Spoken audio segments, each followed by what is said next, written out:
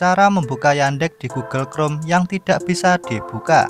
Jadi masih banyak dari kalian yang gagal untuk membuka Yandex di Google Chrome. Halo bosku, selamat datang kembali di channel Nyoto Tutorial. Oke, langsung saja ke langkah-langkah cara membuka Yandex di Google Chrome terbaru 2024. Nah cara ini saya tidak menggunakan proxy ataupun VPN Walaupun tanpa proxy ataupun VPN, kalian sebenarnya bisa membuka Yandex di Google Chrome. Oke, langsung saja ke langkah-langkahnya. Langkah yang pertama, kalian buka Google Chrome-nya seperti ini.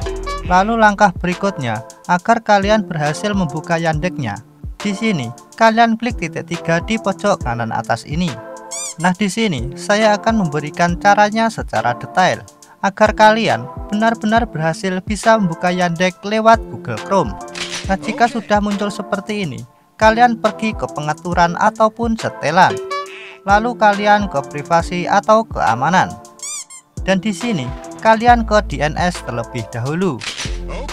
Nah, ini gunakan DNS aman. Di sini kalian klik. Kemudian kalian pilih penyedia lain dan klik sesuaikan.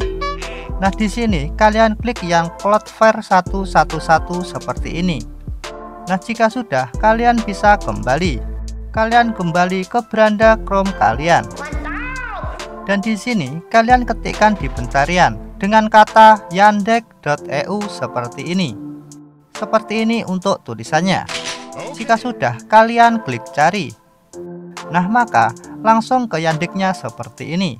Lalu untuk menampilkan foto atau video di bawah ini, agar kalian bisa mencari foto atau video di Yandex. Di sini kalian ke strip 3 pojok atas ini. Maka munculnya seperti ini. Lalu kalian pergi ke pengaturan. Nah, di sini yang pertama adalah location atau lokasi. Di sini kalian bisa mengubahnya.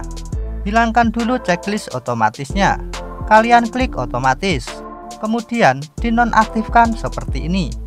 Dan di sini kalian ketikkan misalkan di sini saya memilih Tokyo. Kemudian kalian klik Tokyo seperti ini. Nah, di sini maka akan muncul gambar atau video. Lalu kalian ke titik tiga lagi. Dan kalian ke pengaturan lagi. Dan kalian pilih search atau mencari ini.